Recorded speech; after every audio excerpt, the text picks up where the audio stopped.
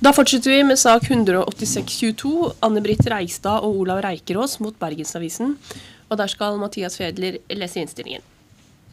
Yes.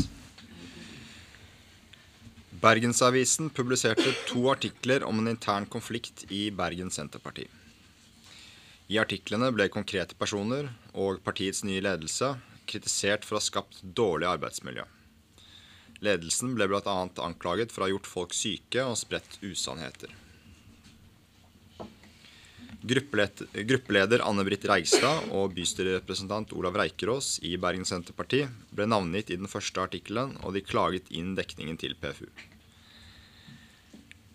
Reigstad holdt på å planlegge sin mors begravelse da Bea tok kontakt, og klager mente avisen burde tatt hensyn til at hun trengte ro.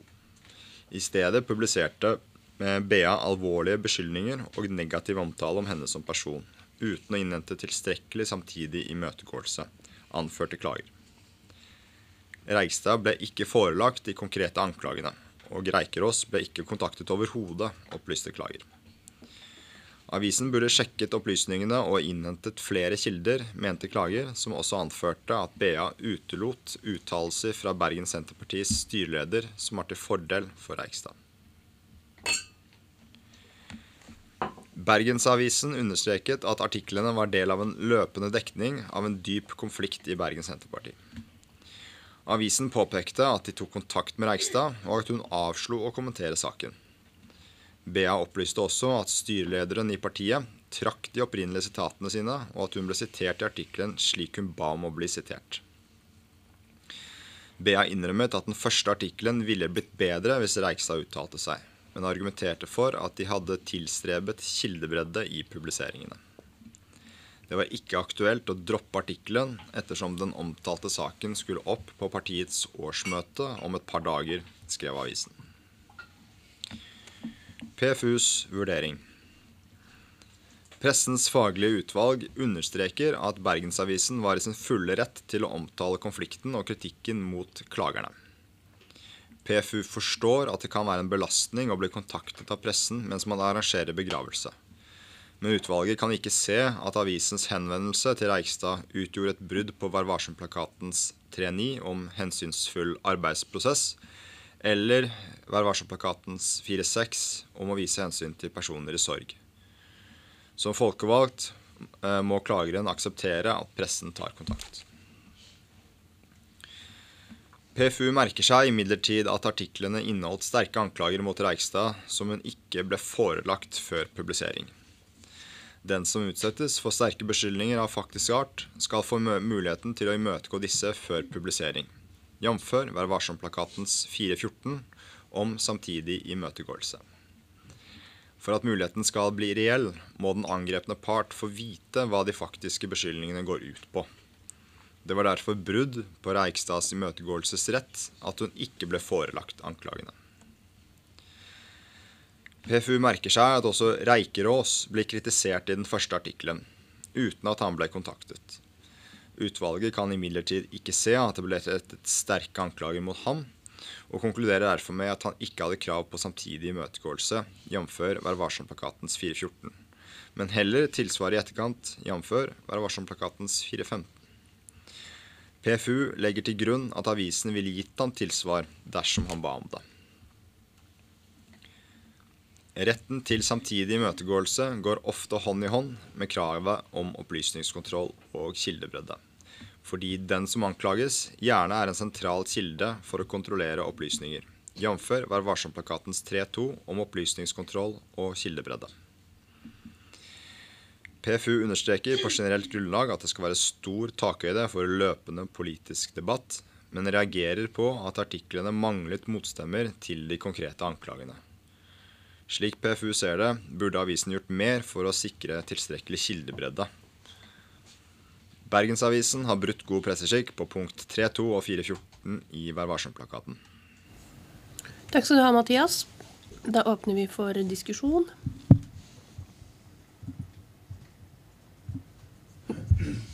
Stein. Jeg kan starte. Ja, Det kommer flere påstander her mot den ene klageren uten at hun får svare. Bea forsøkte å ta kontakt, men av helt forståelige grunner, hun var i begravelsen til sin egen mor, så kunne hun ikke snakke med Bea der og da. Uansett så burde jo Bea ha sendt henne disse påstandene og gitt henne muligheten til å svare. Påstand om at de skaper et klima som gjør folk syke, Påstand om at de hindrer debatten om ved å nekte å ta saker til diskusjon og sletter innlegg i medlemsforum. Og påstand om at Reigstad har vært uetterrettelig og spredt usannheter i partiapparatet og drevet kampanjer mot enkeltpersoner. Alt det er påstander som utløser 414. Ganske opplagt brudd på 414. Eh, så har jeg vært litt mer usikker når det gjelder 3.2. Her er avisas argument om at det er en løpende politisk debatt, mer relevant, syns jeg. Eh, og de forsøkte å få styreleder til å uttale seg om de konkrete påstandene. Selv om det her står ord mot ord, må vi legge til grunn at i, i det intervjuet eh, at det intervjuet med henne ble trukket da, av henne. Men uansett var det flere navngitte gruppestyremedlemmer i saken som ikke ble kontaktet, og det burde da vært gjort når man ikke fikk hennes uttalelse. Argumentet om at saken måtte ut den fredagen eh, holder ikke, mener jeg, fordi Vær varsom-plakaten eh, altså forlanger at man skal ha de før man publiserer. Og det var fortsatt tre dager til mandag, da årsmøtet i Bergen Senterparti skulle være. Eh, og man måtte da ha brukt eh, lengre tid, rett og slett. Eh, det er ikke sånn at den saken måtte ut tre dager før møtet. Så jeg mener at dette også da havner på brudd på 3-2. Så jeg støtter da uttalelsen. Takk skal du ha, Stein. Eh, Gunnar? Jeg er uh, langt på vei inn i Stein, også enig med Stein. Og her er det jo vi har jo brukt mye tid i dette utvalget på å diskutere forskjellen på saker som krever samtidig møtegåelse og tilsvar.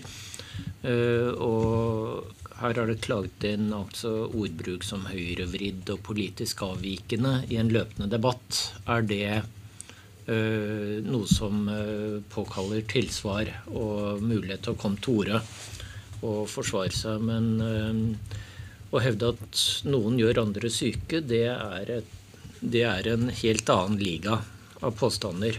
Uh, og det, det, er klart det er veld, veldig uheldige omstendigheter med mors begravelse. Og, men vi har jo i de fleste andre lignende saker sagt at da, man, man, kan ikke bringe videre den typen anklager uten å ha forelagt. Og det, det, går an å sende en tekstmelding eller på andre måter fortelle at dette må vi ha svar på.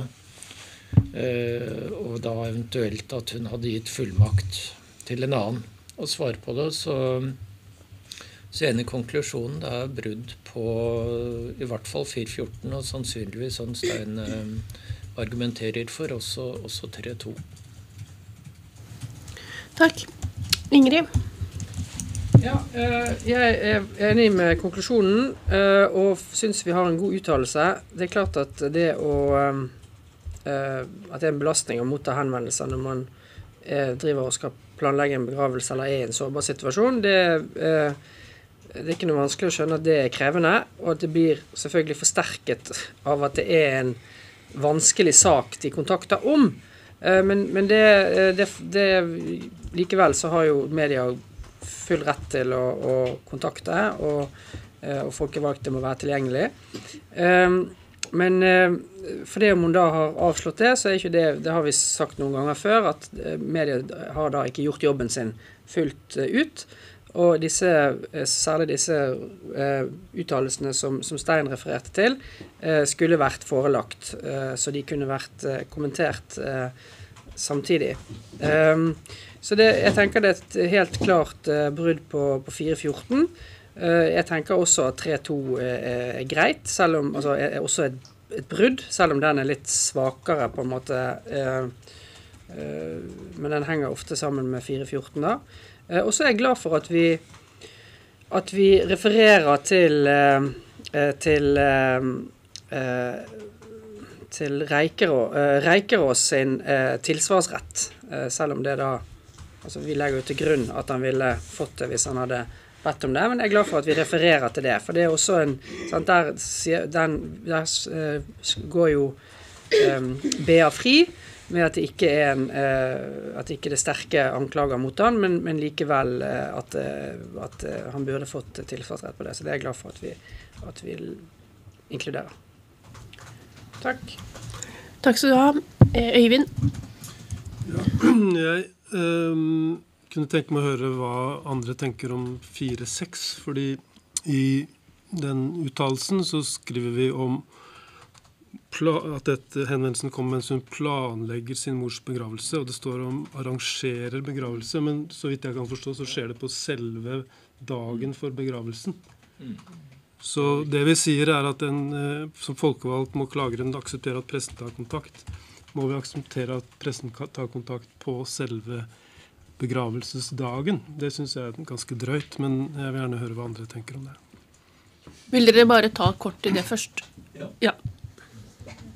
Jeg mener at uh, BA har ikke noen uh, BA må på en måte få samtidig imøtegåelse, og de tar kontakt. De vet ikke at det er begravelse. Når de får vite det, så, så slutter de å mase. Uh, det de burde ha gjort. Altså, jeg mener det, det, er ikke noe brudd på 4-6, eh, i hvert fall ikke på 3-9, som er det andre punktet her. Fordi eh, det har jo med arbeidsprosess. De må gjøre det, den jobben. Hvis man drar 4-6 helt ut da, så kan man si at da burde de ikke skrive om dette fordi hun er i sorg. I en prosess hvor det da er årsmøte på mandag, så mener jeg at det er innafor å skrive om det. Men de må jobbe på en annen måte når de får vite at de får det, så, så stopper de jo på en måte eh, å mase på henne. Problemet er jo litt sånn eh, Skal det være et premiss for at de må eh, la være å, å skrive om saken fordi hun er i sorg? Det syns jeg er å kreve mye. Jeg syns at de viktigste eh, punktene her er 3-2 og 4-14, og at vi feller på det, det holder. Eh, selvfølgelig kunne man ha Altså, man må jo ta hensyn, det skjønner jeg jo. Men at det er en fellelse på 4-6, det syns jeg er å ta i litt, altså. Egentlig. Fordi de måtte faktisk få den, den imøtegåelsen. Uh, ja, Mathias? Jeg endrer dette med planlegge, for det er ikke helt presist. Altså det som står i, i, i, vurderingen, er riktig. Arrangere. Så den var i begravelsen. Så det, mm. Gunnar, var det til dette med begravelsen? Ja, det, øh, det glemte jeg å si at vi må endre akkurat det. Men Tøyvind, så er det jo sånn Redaksjonen hadde jo ingen forutsetning for å vite at timingen var så uheldig da de tok kontakt. Mm. Uh, og jeg tror mange journalister har opplevd å vasse inn i veldig vanskelige situasjoner for de vi ringer til. Som uh, også situasjoner som er helt løskoblet fra det vi vil spørre om. Uh, så, så, det har jo ikke noe med uh, manglende omsorg eller sånn å gjøre å ta den telefonen. Mm. og da da er det fortsatt sånn at jeg mener redaksjonen måtte på, også med en melding eller et eller annet kontaktet igjen og sagt at dette er det vi trenger svar på. Hvordan, hvordan kan vi ordne det mm. i den situasjonen vi er nå? Uh, for det er, det er, åpenbart en sak med journalistisk allmenninteresse. Mm. Så der, Derfor er det fornuftig å begrense det til de to sakene som uh, uttalelsen begrenser det til. Ellen? Ja, kan jo starte der som eh, Gunnar og Stein slapp nå. Jeg er veldig enig i de vurderingene knytta til kall det omtankepunktene egentlig ut ifra den, den, eh, situasjonen som oppsto. Eh, det, det, var en sak. Man tar kontakt og vet ikke, så jeg er veldig enig i den. Og det som kanskje også er det leie der, er jo at den tekstmeldingen som da kommer tilbake, egentlig viser mer omsorg. Det er OK kondolerer, som jo gjør at Reikstad da oppfatter at da kommer det ikke noe nå. Da tar man nettopp hensyn til den situasjonen man står i, i stedet for å si at som Gunnar sier nå, dette er anklagene. Når kan vi få til å få et svar på det? Eh, for som Stein sier, Det var ikke sånn at den saken måtte ut om to timer. Typ. Det var tre dager å gjøre på. Det, er, det, er, det, viktigste er jo plikten til å forelegge de faktiske opplysningene. For det er jo det som vi har sagt i mange sammenhenger, det er jo det som avgjør om folk kanskje eh, vil uttale seg likevel. Det er alle de som 50 ganger tidligere også har sagt at de ikke vil uttale seg. Det er de faktiske opplysningene som må frem. For det, kanskje vil man uttale seg den 51. gangen. Det vet vi jo ikke. Og sånn blir det her òg. Eh, jeg syns det har vært sagt veldig mye bra om, eh, om det å følge si, beskrivelsene i, i um, forslaget her. Og jeg syns Stein innledningsvis også redegjorde veldig godt for punktene. Det ene jeg er, eller disse påstandene og hva som utløser da retten til samtidig imøtegåelse. Det eneste jeg er usikker på, det er hvorvidt også den andre klageren også er omfatta reelt sett av sterke beskyldninger faktisk art. Når det handler om, for det er nettopp denne påstanden om å gjøre folk syke. Så er jeg litt usikker på, for det står jo bl.a. at han da er en av de i partiet som er ferske til tross for alderen, er fersk i SP-sammenheng. Og så står det litt om da dette eksklusjonsbrevet. og så, altså Den er på den første artikkelen. Og så da er det spesifikt tre personer som er nevnt ved navn. Og så står det at To personer er blitt sykmeldte av klimaet de nyankomne partimedlemmene og folkevalgte skapte. Og også da litt lengre ned at hovedproblemet er at de skaper et klima som gjør at folk blir syke og trekker seg ut. Han er ikke nevnt i navns nevnelse akkurat der, men navnet er rett, nevnt rett foran som én av tre navn, navngitte som er de ferske. Og så sier man at de ferske skaper et klima. Da tenker jeg det er vanskelig å lese det som noe annet at han er en av de som utsettes for den beskyldningen om å gjøre folk syke. Eller skape et klima som gjør folk syke. Og da har vi jo sagt at det utløste retten til møtegåelse for den ene, og da tenker jeg da burde det kanskje utløse den samme retten for den andre. Jeg vet ikke hva dere tenker om det. Vil du si noe om uh, hvorfor du var, var, jo kanskje litt inne på hvorfor Nei, dere er skilt mellom de to. Det er en helt fair uh, måte å se det på. Um, det handler jo om at du kan bruke ordet 'de'.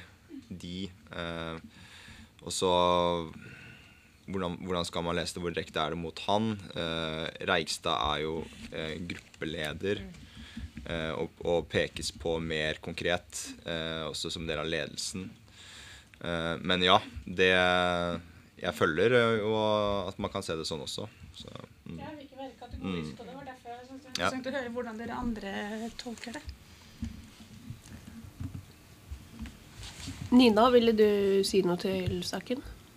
Ja. Um, jeg uh, syns det er en god uttalelse. Jeg synes egentlig utgangspunktet det var veldig sånn strengt med 3-2, men egentlig pga. 4-6 syns jeg det ble riktig. uh, fordi at uh, Eh, de tar kontakt, det syns jeg er helt ok. Eh, de vet ikke det. Og selv om de hadde visst det, så mener jeg faktisk at de kanskje kunne gjort det. Eh, for å høre hvem er det som kan belyse din side av saken, f.eks. Altså det ikke hadde vært liksom å tråkke over folks grenser på den måten. Og jeg mener også at de burde ha sendt henne de tingene de hadde tenkt å skrive, selv om hun var i begravelse. Jeg tenker at det burde de ha gjort, da. Eh, men da, man jo, da, kunne man jo hatt en diskusjon rundt hvor lang tid skal hun få på det. Altså det, det, hadde vært mer en sånn diskusjon rundt hvordan man skal ta hensyn til folk i sorg. da. Eh, at det ville vært en annen situasjon å motta dette i, og, og da må ha lengre tid enn, en man ellers kanskje kunne forventet. Eh, så så problemet egentlig oppsto jo med 3-2 oppsto jo mest når hun som da skulle svare i stedet, trakk alle sitater, og det ble på en måte en veldig lite lite igjen. Det ble liksom en sånn 'dette skal vi snakke om på årsmøtet'. var liksom det som havna igjen av hele motsvaret i utgangspunktet. Og det er klart at uh, da burde man uh, antagelig fra mediets side ha sett på hvordan står det til nå med denne kildebredden. Altså sånn, ja, vi har snakket med dem, og så sånn sett så har de liksom på en måte, de har jo prøvd å, å få inn motstemmer, men, uh, men, det har jo ikke Det har jo blitt en, en ganske stor skjevhet i den saken, og gitt at hun i den situasjonen hun er i, og heller ikke har fått forelagt de tingene de har tenkt å skrive, ikke har hatt muligheten til å svare opp det, så, så mener jeg da, da, ryker de på begge. Um, så, så, i og med at uh, saken ble som, som, den ble, så syns jeg det er uh, helt OK på 3-2. Når det gjelder det med hvem skal, få, hvem skal det felles på på 414, så har jeg også tenkt at hun er eh, gruppeleder og mer eksponert i saken enn eh, den andre representanten, og at eh, det er, hviler et annet eh, ansvar på henne eh, pga. det eh, enn det gjør på en, en nyankommet partimedlem. så ja. Mm. Gunnar? Ja, Ellen nevnte dette med kontakten mellom journalist og klager og denne meldingen med OK kondolerer. For jeg, jeg, lurte en stund på om dette også om vi skulle trekke inn 3-3, men det er ikke klaget inn. Uh, for det, det, er noe med premissene her. Og, og, det sier jo for så vidt BA også, at uh, de ser at dette var uheldig eller kunne misforstås. Uh, men det, det, er ikke klaget inn. og er vel et læringspunkt for mange at man må, må, må være presis i kommunikasjonen med kilder. Kanskje særlig kilder i en så vanskelig situasjon. Men uh, bortsett fra det så, så er det jo det, det, koker jo ned til dette at man ikke konfronterer en, en som anklages, med anklagene. Stein? Det jeg syns var interessant, det Ellen eh, bringer opp med den andre klageren. Eh, når de, de sier jo de, BA bruker jo det der litt sånn eh, diffuse begrepet 'de'. Eh, de skaper et klima som gjør folk syke. De hindrer debatten ved å nekte å ta saker til diskusjon og sletter innlegg i medlemsforum. Og så er det Reigstad som har vært uetterrettelig og spredt usannheter i partiapparatet. Og drevet kampanjer mot enkeltpersoner. Det er, det er bare henne. Så øh, jeg oppfatter jo sånn at han er en del av de. Det tror jeg de fleste må oppfatte, mm. egentlig. Men jeg er enig i Mathias i at uh, han er jo ikke så eksponert i artikkelen som, som, helhet. Uh, så eh, jeg ja, jeg syns ikke det er helt enkelt, men jeg har nå havna på at jeg kan følge jeg kan følge uttalelsen når det gjelder den andre klageren, men under tvil. Mm. Eh, det er veldig interessante eh, innspill i diskusjonen. Og det er jo en litt sånn kompleks sak på et vis, da. Eh, og veldig åpenbart at dette finner sted i en eh, kontekst med mye løpende dekning og veldig høyt konfliktnivå i Bergen Senterparti.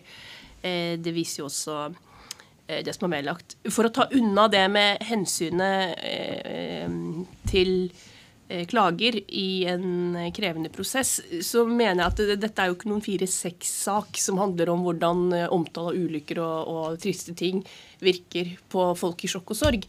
Det er jo mer enn et spørsmål å ta hensyn i den journalistiske arbeidsprosessen. Altså et kapittel tre-punkt eventuelt. Eh, og så, ja, til som du var inne på, og så reagerte jeg også litt på den setningen om at eh, folkevalgte må finne seg i at folk tar kontakt. Skal jeg, skal jeg finne tilbake til den. For det, det, er kanskje ikke akkurat Eller det virket litt hardt. Eh, det er jo ikke nødvendigvis det vi mener at eh, at man skal avkreve svar til enhver tid, uansett om du er i din mors begravelse eller ikke. Men at eh, BA kunne jo ikke vite at det var tilfellet der. Og så har jo de prøvd å gjøre så godt de kan ved å si å, eh, OK, beklager og kondolerer. Eh, og så og det er jo på en måte litt sånn omsorgsfullt og hensynsfullt. Så derfra til å si at de skulle fem minutter etterpå bare sendt alle eh, påstandene for samtidig imøtegåelse, det er jo også litt mye å pålegge BA. For det tror jeg ikke ville blitt oppfattet som eh, hensynsfullt. Og hvor lang tid skulle det ha ventet? Og så har de prøvd å komme rundt det med å eh, spørre den andre intervjuobjektet, som da skulle liksom svare på vegne av klager. Men så har jo det også blitt klønete da, fordi at eh, BA mener at vedkommende har trukket eh, alle de utfyllende sitatene. Og da står man jo igjen da med, med litt sånn tynt fra den ene parten. Eh, BA erkjenner jo sjøl at eh, dette ikke var godt nok på 414, og har beklaget det også overfor klager. sånn at i den første artikkel mener jeg at det er ganske sånn åpenbart brudd. Jeg har vært mer i tvil om 3-2 der. Eh, nettopp fordi at de også har prøvd å få eh, denne eh, anklagde, eller representant fra den anklagede part som ikke vil si så mye. Eh, pluss at jeg mener jo i journalistikk, og også i type politisk journalistikk, og hvor det er en sånn løpende konflikt, at man også eh, har et privilegium å velge vinkel. Eh, og at det ikke alltid kan være sånn at eh, liksom alle sider av saken kommer fram like sterkt. Eh, så der var jeg i tvil om det er et 3-2-brudd. Eh, men i den andre artikkelen som er klagd inn, Eh, der ser jeg vel ikke at det er så mye 4-14-situasjon, men der er det jo mer en 3-2-situasjon hvor Hege Solbakken forteller om bakvaskelseskampanjer og ensretting eh, i regi av det nye styret og dagens gruppeledelse. Så Eller jo, det er jo også Det er jo på en måte en, en sånn faktakontroll, eh, men selvfølgelig skal de jo få svart opp det òg. Sånn at det, eh, det er eh, Begge punktene kommer til anvendelse egentlig for begge artikler, eh, men på, i, litt sånn ulik grad, da, tenker jeg. Og så har jeg også fulgt eh, uttalelsen i eh, hvordan man argumenterer for eh, at eh, Reikerås egentlig i hvert fall først og fremst da, eh, er i en 4-15-situasjon. At karakteristikker om at man er høyreorientert og ja, de andre tingene som kommer fram der, er av en annen art enn 414. Men jeg ser jo at det spørsmålet om han faller inn under de eller ikke, er mer krevende. Jeg tenker egentlig at uttalelsen står godt, da, sånn som den gjør nå. Men at vi kanskje kunne, eh, kunne endret litt av den formuleringen om at folkevalgte må godta å bli kontaktet. Eh, sånn, Skal vi kappes, eller ja. formulere, omformuleres?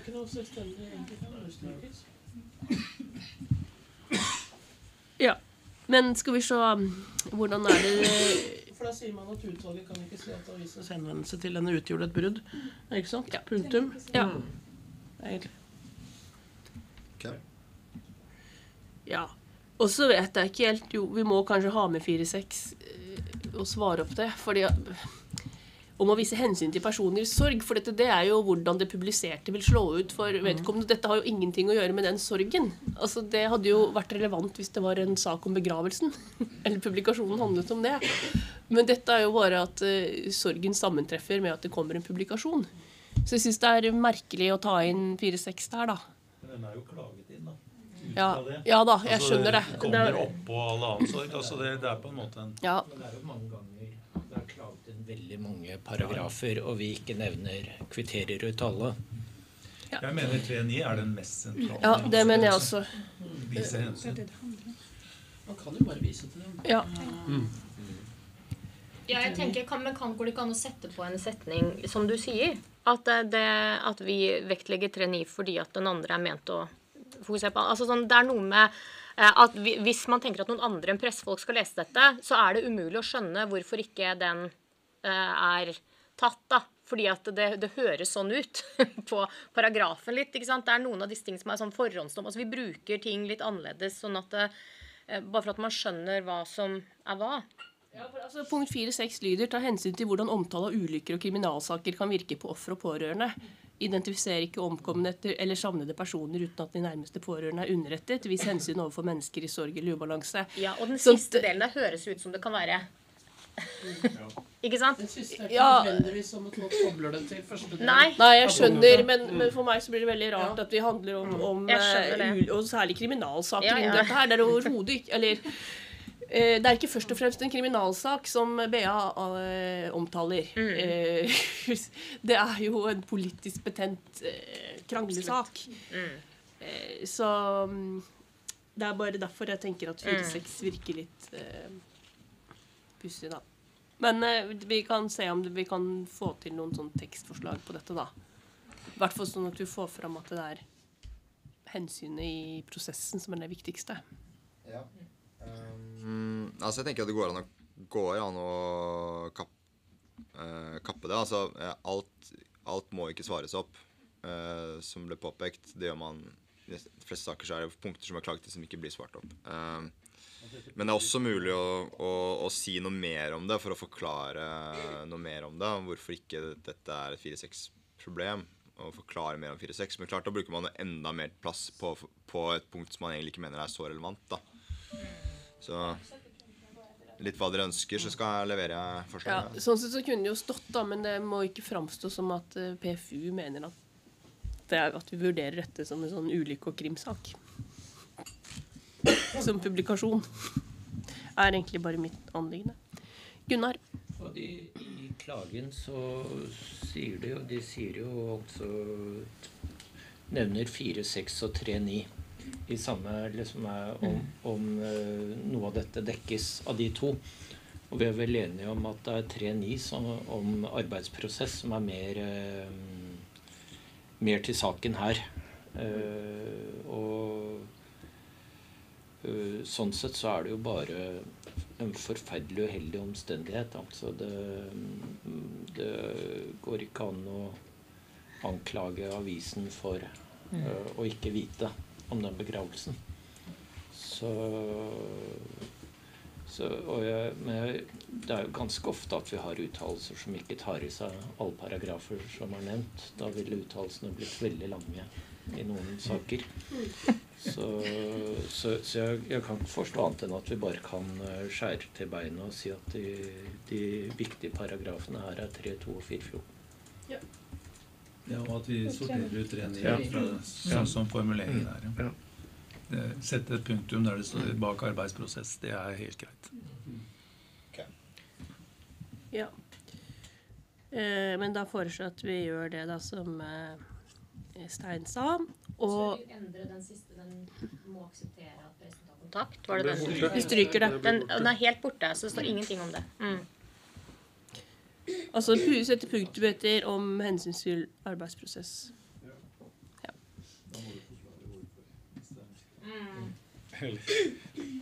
Ja, hvem som skal tåle hva. Mm. Ja, og når. Og ja, i det hele tatt. ja. Ok, kan vi leve med dette her, da? Da er konklusjonen at Berg... Vær så god. Som at eh, man ikke feller på 414 på klager nummer to, Reikerås. At man beholder uh, vurderingen som er gjort i Ja. ja. mm. Uansett da, så er nå konklusjonen at Bergensavisen har brukt god presseskikk på punkt 3.2 og 4.14 i Vær varsom-plakaten. Og begge artiklene vil jo bli merket som det.